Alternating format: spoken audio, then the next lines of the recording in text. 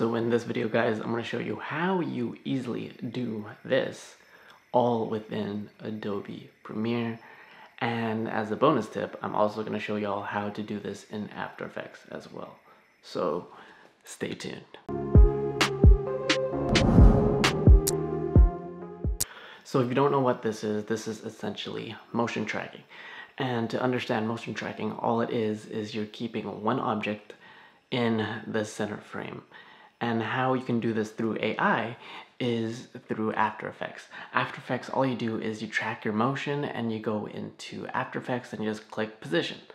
But if you just have Adobe Premiere and you don't want get to get into the technicalities of Premiere Pro, the easiest way of how you do motion tracking is by essentially the workaround is keyframing and having your safe margins and understanding whatever it is that you're trying to track, keep that directly in the middle.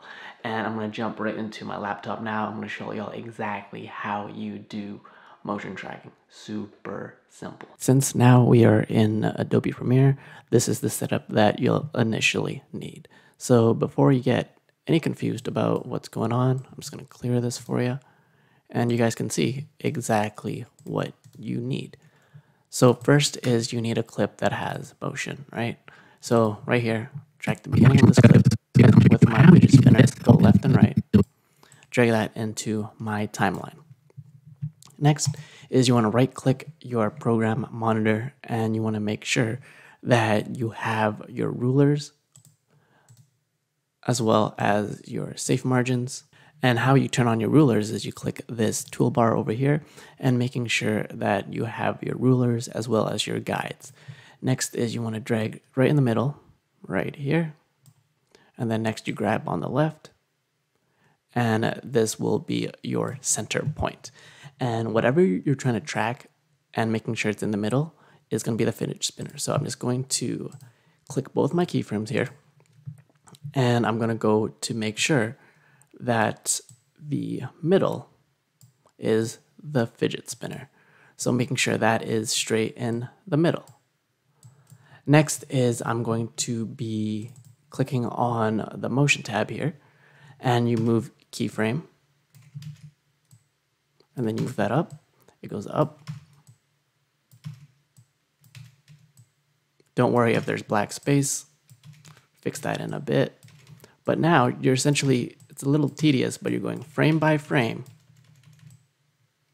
and tracking, manually tracking the center keyframe. And if you do this properly, and the more accurate you do it, the more frames one by one, that is totally fine. But the more you do it, the more accurate and motion tracking effect you will actually have. So that is just going to be the little tutorial there. So I'm going to unclick this, right? And like, okay, and you play that back. As you can see, there's that motion tracking effect. But there's that black space. So how do you fix that? All you do is just kind of zoom it in a bit.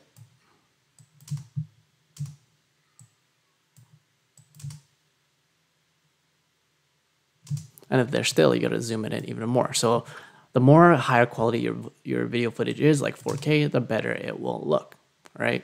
And that is the simple hack in terms of figuring out how you do that motion tracking within Adobe Premiere is simply by just keyframing it and having your margins. But another way is I'm going to show you is all you need to do is have that same clip, drag it into your timeline, and we're going to open up After Effects. So now I'm going to do replace with After Effects composition. So the super easiest way of why people do this in After Effects instead is it's not that complicated. All you do is you go into your clip right here, you right click and you go into track motion, right?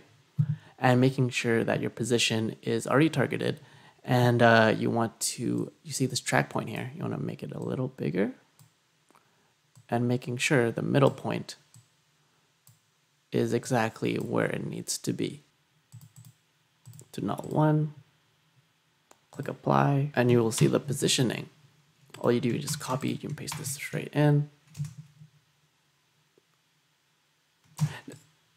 But as you can see, it kind of moves, and then all you do is you kind of just zoom that in to get rid of the black and is essentially the same concept.